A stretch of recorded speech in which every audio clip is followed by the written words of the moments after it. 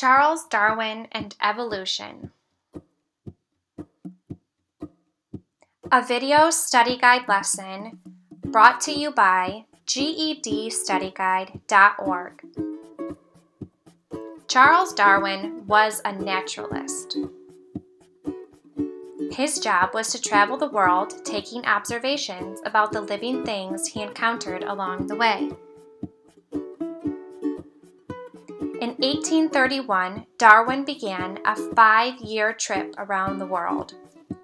He traveled on a British ship called the Beagle. Darwin spent some time studying on the Galapagos Islands. The Galapagos Islands are a group of islands off the South American coast in the Pacific Ocean. On the islands, Darwin noticed similarities and differences between the plants and animals on the islands versus the plants and animals on the South American mainland. While on the island, Darwin observed the fascinating species of tortoises found there. Darwin found that each of the 10 Galapagos Islands had its own tortoise. Darwin also recorded his observations on birds, iguanas, organisms, and other plants and animals. Darwin also studied birds called finches. Now he noticed that the finches' beak characteristics were specific to the island that they lived in. So the ground finches seemed to have strong, wide beaks in order to break seeds easily. But finches on other islands had different shaped beaks depending on their diet.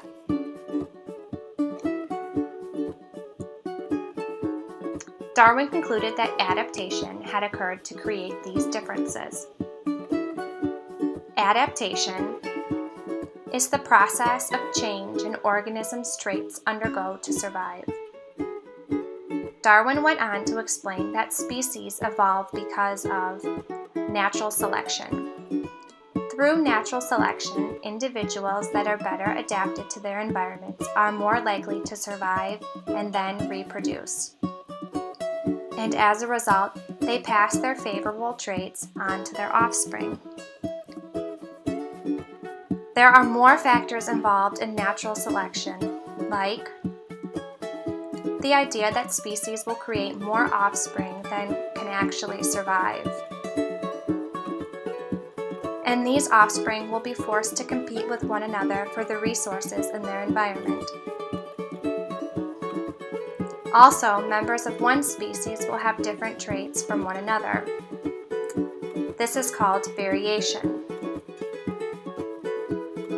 Variations help better adapted individuals to survive in their environment.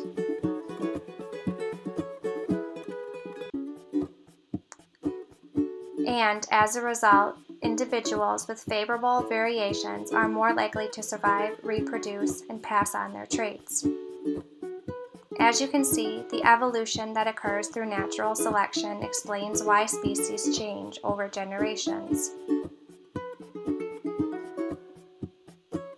Over the course of reproduction, positive variations will spread through the species, creating a change or evolution of the species to occur.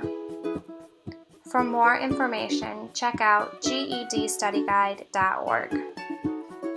Click the link below to subscribe.